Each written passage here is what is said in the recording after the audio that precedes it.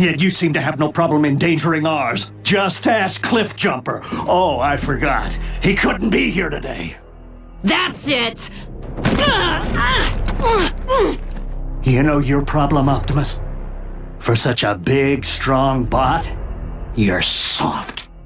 You didn't pound Megatron into scrap when you had the chance! Many chances, in fact!